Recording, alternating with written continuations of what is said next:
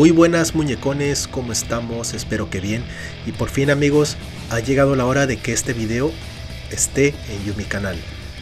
Y bueno amigos, yo había comentado desde que desde inicios del año tenía ganas de hacer de nueva cuenta este video porque les voy a hablar un poco de historia de mi ciudad y tierra natal Cerro Azul, Veracruz. Una ciudad ubicada en el norte del estado de Veracruz. Si bien recuerdan, hace tres años en plena pandemia yo hice un video acerca de los 57 años de la ciudad y he decidido que para su sexagésimo aniversario tenía que hacerle una remake mucho mejor lograda hoy y mejor narrada y mejor editada y sobre todo con mucha más información que superaría con creces aquel video anterior. Además de que he decidido hacerlo mucho más entretenido recorriendo las calles del bello pueblo, así como también sus principales atracciones y recogiendo testimonios de la gente que tienen lo mejor de lo mejor para contar acerca de su vida cotidiana dentro de Cerro Azul. Así que prepárense que este video será tan épico que habrá muchas emociones que van desde las lágrimas hasta las carcajadas. Así que a la carga.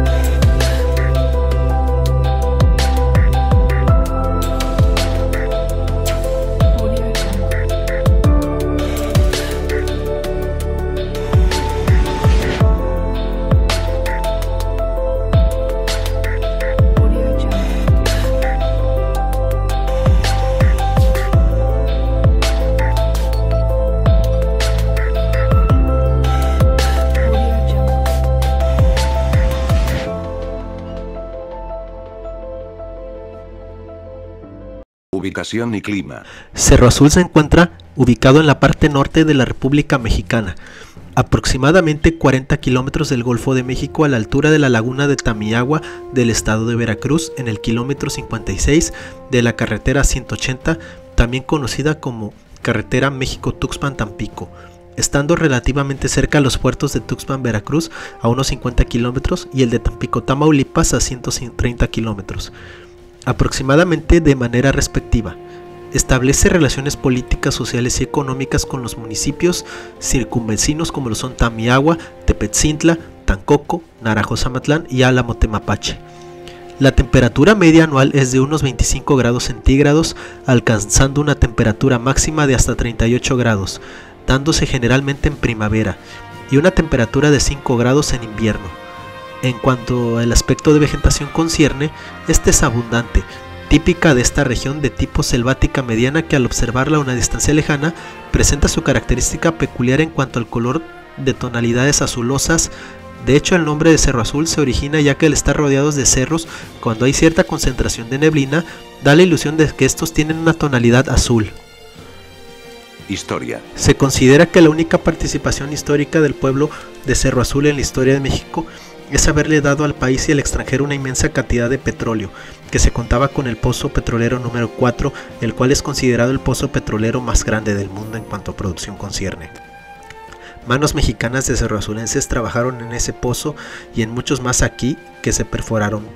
Por otra parte, debemos tener presente la inolvidable noche del 18 de marzo de 1938, en el que trabajadores petroleros de la República Mexicana, especialmente la honorable sección 13 del Sindicato de Trabajadores Petroleros de la República Mexicana le manifestaron su apoyo al presidente de la República de la época, el señor Lázaro Cárdenas del Río, quien con decisión y valentía expropió el petróleo de las compañías extranjeras.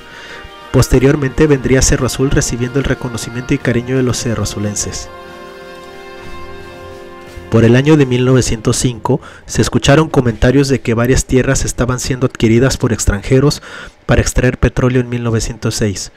Llegaron a contactar con un hombre llamado Hilario Jacinto que llegó a rentar a otro hombre, un empresario de origen estadounidense llamado Edward L. Doheny, mejor conocido como Doheny el Cruel, quien hizo a un lado unos contratos de arrendamiento que tenía.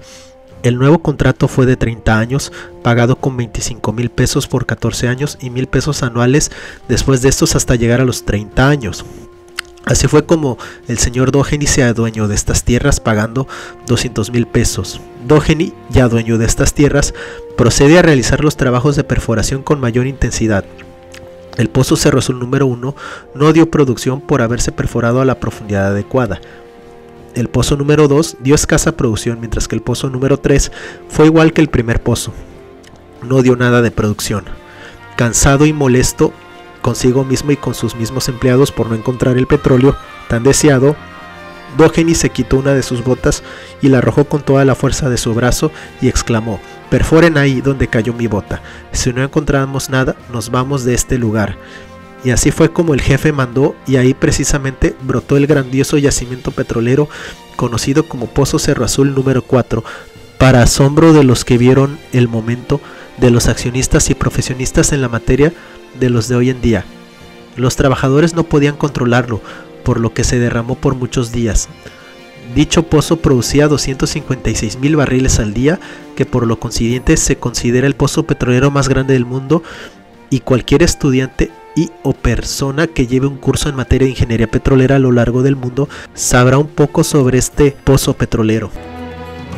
Este pozo su número 4 empieza a ser perforado por la compañía Huasteca Petroleum Company el 9 de abril de 1914. De tal manera que en 1916, que es cuando brota o, inicia su vida productiva, tenemos que alcanza unas cifras que se consideran las más grandes del mundo. Cuenta nuestra historia, cuentan los historiadores y ha quedado plasmado en fotografías que el pozo avienta las herramientas de con un peso de dos toneladas a más de 30 metros de altura y cae y se clava en la tierra hasta 5 metros de profundidad. Imaginémonos, dos toneladas que salen despedidos al aire como si fuera cualquier otra cosa de menos peso. Pero no termina ahí. Destruye completamente el faro de madera hasta cuarto pedaño. Y tres kilómetros a la redonda empiezan a llenarse de un color negro. ¿Qué pasó para controlar el pozo? La historia muestra que fue muy difícil dada la presión que existía y que el yacimiento era casi casi imposible de poderlo someter al dominio humano. Con todo esto se construye una inmensa válvula y se transporta por las únicas vías que existían, que eran la marítima y posteriormente en ferrocarril hasta llegar a este sitio, Cerro Azul, Veracruz. Poco a poco empiezan los técnicos y los ingenieros de la empresa a tratar de ver de qué manera podían llevar esa válvula, porque todo lo que se ponía encima de la misma era aventado por la fuerza del golpe tempestuoso del pozo. Avanza poco a poco esa válvula y se está viendo con beneplácito que el chorro se divide en dos al momento de que la válvula abierta permite el paso hacia arriba de parte de ese aceite y corta, hace un corte de 90 grados con la otra parte del aceite. Se sigue avanzando, se sigue avanzando y hay gente que ya está lista para poder poner los pernos de seguridad, para poder afianzar este, esta enorme mole de acero a la estructura. Primeras viviendas. Este comprenderse que los jefes de la compañía petrolera no vivían en la población denominada La Curva. Ellos edificaron sus casas habitación en lo que es la colonia 18 de marzo. Algunos trabajadores tenían cierto rango, se fueron asentando en el llamado campo industrial, hoy colonia primero de mayo, y unos cuantos en la llamada colonia el 4, todas ellas alejadas de la zona de trabajo. Las viviendas que se habitaron se les llamó camillas, aún así se les llama. Estas se construyeron en chirriones o hileras, algunas las de mayor rango fueron construidas individualmente. Son de madera traída de Estados Unidos. Algunas estaban levantadas en pivotes de tubo, el piso también es de madera y los techos son de lámina de zinc. De los primeros pobladores se puede decir que fueron los fundadores de Cerro Azul. Algunos llegaron con su familia provenientes del Líbano, como por ejemplo el señor Amin Abirrachet, que se casó con una mexicana de nombre Prima Vergara Hernández, matrimonio del cual tuvieron varios hijos e hijas, como Asef, Yusef, Jorge Alejandro, Rashide, Adma y Laila. Don Amin edificó un gran negocio, una casona de madera con piso de madera y lámina de zinc de dos plantas. La parte de arriba era hotel y en la planta baja tenían tienda de ropa, bar, expendio de billetes, de lotería y después salón de juegos de billares. Arquitectura. Se consideran obras grandiosas en la arquitectura la de los dos templos católicos en la primera iglesia y se observan rasgos primitivos de construcción que se construyó de acuerdo a posibilidades económicas y de asesoría arquitectónica de su tiempo, mencionándose que tal construcción en su estructura metálica se utilizaron rieles de ferrocarril. Sin embargo, ya no se respetó lo tradicional de las iglesias de antaño. Sus trazos son queriendo llegar a lo moderno. Lo que sí es una belleza es el altar de la parroquia de San Pascual Bailón, con sus columnas y los capiteles estilo corintio con hojas de acanto, un gran arco adornado con grandes volutas, todo en mármol blanco. Este templo tiene muy buena acústica que los cantos e instrumentos musicales se escuchan maravillosamente. Otra obra grandiosa es el Templo de la Virgen de Guadalupe, que al observarla nos percatamos que es estilo modernista, siendo su belleza el techo por la forma en la que fueron construidos los picos de forma triangular, además de sus paredes triangulares que consisten en la existencia de varios apartamentos hoy utilizados para capillas de algunos santos. El faro. De esta obra se han obtenido breves datos con trabajadores jubilados de petróleos mexicanos pero sin embargo cabe hacer mención que esta torre de perforación extrayendo el petróleo del subsuelo del distrito sur ahora se encuentra erigida desde el año 1970 como un símbolo al petróleo. Unos años después el Inge Armando Núñez Sousa diseñó el adorno que en los meses de diciembre de cada año, con motivo de las fiestas navideñas, se engalana con luces de colores formando un grandioso pino. Feria de San Pascual Bailón. En el aspecto religioso, fue el padre Florentino quien hacía las primeras visitas a esa región de la Huasteca, que al surgir la población de Cerro Azul empezó a venir a este lugar. En los años 20 fundó la primera capilla escogiendo él al santo patrono que fue San Pascual Bailón. Años más tarde, cerca de los años 30 o principios de estos, se iniciaron las festividades al santo patrono en su día que es el 17 de mayo de cada año. Primero se hizo únicamente con actos religiosos, después se fueron incluyendo los eventos paganos o fuera del contexto religioso, con bailes, peleas de gallos, carreras de caballo, palo encebado, entre otros. La fiesta se realizaba frente a la iglesia en una explanada que tenía su kiosco. Después se construyó una galera pública y en ella también se efectuaron los bailes del pueblo. Mientras tanto, las peleas de gallos se efectuaban en la calle Allende, todo hoy en la colonia La Curva. Posteriormente empezaron a llegar los juegos mecánicos instalándose en las calles que circundaban en la galera frente a la iglesia. A finales de los años 60 se construyó el Parque a la Bandera, con dos pistas de bailes que en ocasiones las dos se llenaban. Esta fiesta desde un principio tuvo una gran aceptación que se volvió una tradición y costumbre que dura una semana o a veces más. Gastronomía. En cuanto a la gastronomía concierne, tenemos una variopinta variedad de platillos que se podrían considerar de carácter único, como los tamales que son muy diferentes a los que se suelen consumir en otras partes de la República, ya que los tamales que se consumen en la Huasteca llevan carne de cerdo, ya sea adobada o enchilada, y también se preparan con picadillo, carne deshebrada de res o de pollo, acompañados con verduras como lo son chícharos, papa y zanahoria. O también este tenemos un tamal este que se puede decir que es único, que es el tamal de frijol, pipián, calabaza y palmito. También tenemos un tamal que se puede decir que es único de la región llamado zacahuil, que es muy grande y es de carne de res, cerdo o pollo, y que se hornea en un horno de hoyo que está hecho a base de piedra. Mientras que en el caso de los tamales de lote, estos son llamados chamitles y van acompañados de diversos ingredientes como lo es crema, queso granulado y polvo picante, o a veces con canela. La barbacoa, que es un platillo muy común en las fiestas y que se comen tacos bañados con salsa borracha. Luego para el postre tenemos los pemoles, que son galletas con forma de aro que están hechos de masa de maíz. También tenemos los alfarores, galletas de masa de maíz mezclado con chile y piloncillo y frijoles. También contamos con otras variedades de platillos como lo son la carne enchilada, la cecina de res, estrujadas, migadas y los bocoles este último muy popular en el desayuno y o almuerzo, el cual consiste en un platillo muy similar a la gordita o arepa, solo que esta es mucho más delgada y normalmente viene en dos presentaciones, con pura masa y también masa mezclada con frijoles, y puede ser rellenada con una infinidad de guisos como lo son carne molida, pollo, nopales, huevo rojo, huevo verde, huevo con jamón o puro queso. Ahora en cuanto a bebidas, tenemos el agua de jobo que es muy popular en la temporada veraniega para combatir los golpes de calor y el aguardiente que se hace a partir de la caña y normalmente está endulzada con miel. Educación. En materia de educación contamos con una variedad de instituciones educativas para casi todos los niveles. Para la educación preescolar contamos con los jardines de niños Antonio Caso, Luz María Serradel y Marcelino Menéndez y Pelayo, mientras que en el caso de la educación primaria contamos con el colegio Juana de Arco que está administrado por las misioneras marianas.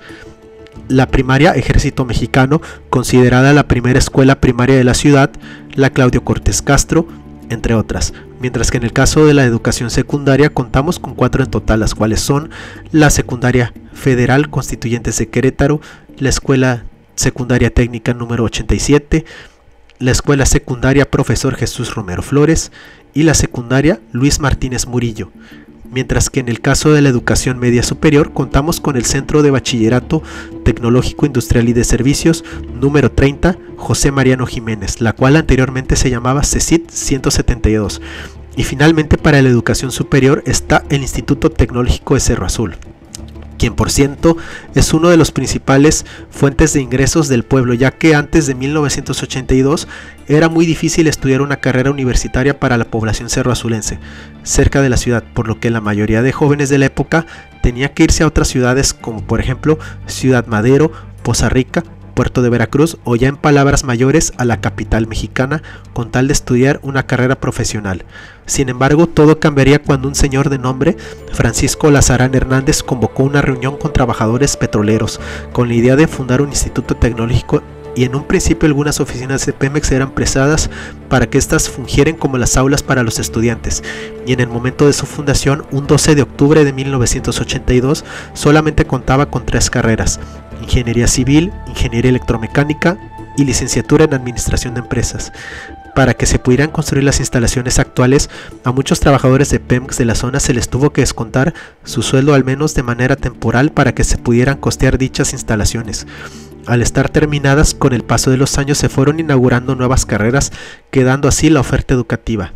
Además de las tres carreras anteriormente mencionadas, tenemos ingeniería en gestión empresarial, ingeniería en sistemas computacionales, ingeniería en tecnologías de la información y comunicaciones, ingeniería industrial y anteriormente teníamos la licenciatura en informática. Sin embargo, esa carrera un tiempo después fue removida de su oferta. Sin embargo, en el año 2012 el instituto agregó a su oferta educativa la carrera de ingeniería petrolera, aprovechando que su ubicación es estratégica ya que al estar la institución ubicada cerca de una zona petrolera, esto sirve de ventaja. Hablando del sistema de salud, contamos con los hospitales de Pemex, la Cruz Roja Mexicana, la cual fue fundada en 1940 aquí en la población, la unidad médico familiar del ISTE, el centro de salud de la Secretaría de Salud, por lo que en la actualidad la esperanza de vida en el pueblo se ha mantenido totalmente equilibrada. La independencia del pueblo. Y fue así como el 27 de noviembre del año 1963 se creó el municipio número 202, siendo el presidente de la honorable cuadragésima sexta legislatura del estado el licenciado Héctor Sequera Rivera y la diputada secretaria la profesora María del Carmen Cerón de Díaz fue la Ley 94 con fundamento legal en la fracción primera del artículo 68 de la Constitución Política Local que Cerro Azul es considerado un municipio libre, segregándose de Tepetzintla. Las congregaciones de Juan Felipe, Piedra Labrada, Cerro Azulito, hoy llamado Cerro Azul Viejo, Tamalinillo, La Campechana, Moralillo y el Ejido Mirador, todas estas pasaban a formar parte del nuevo municipio de Cerro Azul. Para diciembre del año 1981, Cerro Azul obtendría su estatus de ciudad, y a continuación nombraré algunas de las personas que lucharon y que gracias a ellos Cerro Azul es lo que es actualmente. Trabajadores petroleros Marcos Sierra Torres, Aristides Arbona Sandoval, Florencio Segura Blanco, Aristeo Alejandre, Doctor Porfirio Gutiérrez Ávila, Braulio García Cortés, Aniceto Castillo Vázquez, Alfredo Garza Castillo, Gilberto Garza González, Francisco Torres Fraga, Leonel Castillo Aquino, María Cava Cerecedo, trabajadores de la educación, profesores Gilberto Villalobos, Paulina Hernández Lima, Soledad Estrada Ibarra, Leonora Edelmira Osorio Almazán y el comerciante Cipriano Cobos Vite. Actualidad. En la actualidad, Cerro Azul es un poblado de más de 25.000 habitantes que cada día está más animado y que se puede encontrar atracciones turísticas y maravillas culturales y gastronómicas que pueden fascinar a cualquier turista ya sea nacional o extranjero, que puede deleitarse recorriendo sus pintorescas calles llenas de vida y donde te encontrarás gente muy amistosa y servicial, que tratarán al turista de manera amable y muy cómoda para que pueda disfrutar su estadía. Es menester para nosotros mostrarles las mayores delicias gastronómicas que ya mencioné anteriormente, y aunque no lo crean, dentro del pueblo nacieron y crecieron personas ilustres que a continuación mencionaré. En el ámbito deportivo tenemos a Carlos Hermosillo, futbolista conocido como el Grandote de Cerro Azul y que en el año de 1997 puso al equipo Cruz Azul como campeones. Rafael El Pelón Osuna, tenista quien fue conocido por ser el primer mexicano en competir en el torneo más importante de tenis, Wimbledon. Y también tenemos al beisbolista David Medina Ortiz. Dentro del ámbito musical tenemos artistas como lo son Marian Mar, Ariel Viniegra Pérez, mejor conocido como Ariel V. También tenemos a su hermana Shelly Viniegra. Y tenemos también a Rodi Castillo, Primavera Alejandre, Krishna Fernández, quienes por cierto pusieron a Cerro Azul en lo alto en el programa musical La Voz. También se menciona a otros artistas como por ejemplo el doctor Julio Macías Lara y el licenciado Enrique Piñeiro Zamudio. Dentro del ámbito del entretenimiento podemos encontrar a figuras como lo son Gustavo Bermúdez, quien ha puesto a Cerro Azul a la fama al aparecer en diversos programas de televisión en México tales como En Familia con Chabelo y Caso Cerrado. También podemos encontrar influencers y youtubers como lo por ejemplo Alfalta90 y un servidor, Isrix96, director del canal IRC Media. Mientras que en el ámbito de la moda tenemos a Samantha Herrera, quien en 2022 fue coronada Miss Veracruz y quien por cierto estaba a punto de ganar la corona de Miss México. También tenemos a Giselle Varias, quien en 2016 fue coronada Miss Team Veracruz. Todas estas personalidades han hecho mella y han dejado huella dentro y fuera del pueblo, haciendo que obtengamos fama y reconocimiento porque al ser un lugar con una historia tan próspera y rica Cerro Azul no, no solo merece reconocimiento, sino también respeto. Otra curiosidad también que les voy a decir es que Cerro Azul aparece también en la letra del conocido corrido del legendario cantante mexicano Antonio Aguilar, el cual se titula Campico Hermoso y que en cuyo extracto de la letra se hace mención al pueblo y a su ámbito petrolero y el extracto de la letra dice así Matarredonda, Chinampa y Amatlán con Sacamixle, Potrero y Cerro Azul están rodeados de pozos sin contar siendo un conjunto con gran excentritud. Imagínense amigos qué orgullo para nosotros ser que una leyenda como lo fue Antonio Aguilar nos haya mencionado en su canción amigos. Así que eso sí es digno de respeto. Así que por mi parte, felices 60 años Cerro Azul. Ahora para terminar con esta reflexión, 60 años se dicen fáciles, pero no. Yo también he sido testigo de cómo el pueblo ha ido evolucionando en los 27 años que llevo de existencia. Y créanme que hemos tenido momentos oscuros, altas y bajas, de las cuales hemos sabido levantarnos y seguir nuestro camino sin perder el rumbo. Por lo que Cerro Azul es siempre y será un titán próspero, una ciudad con una cultura única y ciudadanos únicos y diferentes que día con día ponen al pueblo en lo alto.